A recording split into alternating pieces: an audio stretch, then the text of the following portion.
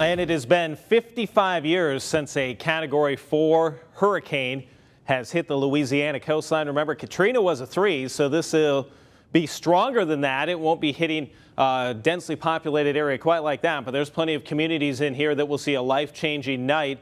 There is the eye of Laura right now, and it's about, let's say, 35 to 45 miles just south of the coastline.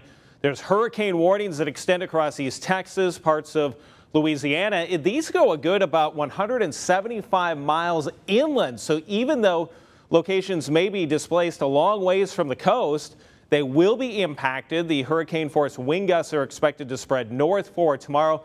Let's show you when landfall is expected, maybe in the next two to three hours as a category four storm. And what does that mean? Well, it means winds right now that are 150 miles per hour will probably be somewhere in that range at landfall and then still a Category 2 storm early tomorrow morning, weakening across Arkansas to a tropical storm.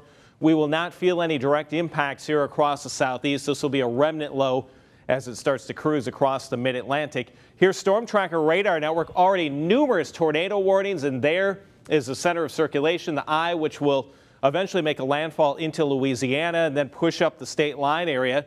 So there is Laura across our area. Pretty quiet weather conditions. Our thunderstorms are gone, but a gorgeous evening after the rain, a rainbow out in the Pooler area. Thank you to Bill Armstrong for that gorgeous shot. And how about in the low country? We go to Hampton County. Some glorious rays of sunshine, the sun peeking through up in Hampton County. Thank you to Doug Knowles. Stepping out the door tomorrow morning, sunrise 657.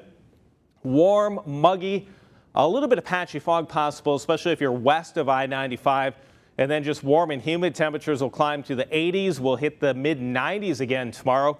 Rain chances very low on Thursday and then Friday, Saturday, Sunday. That's more of those daily pop-up showers and thunderstorms. We'll call it isolated and then a little more numerous on Monday. So more in the scattered category. How about the feels like temperatures? It's going to feel kind of a lot of people have been terming it gross lately, extremely humid. And that sticky feel will be with us again. Very sweaty tomorrow afternoon. Those peak heat indices will be around 105 degrees during the afternoon.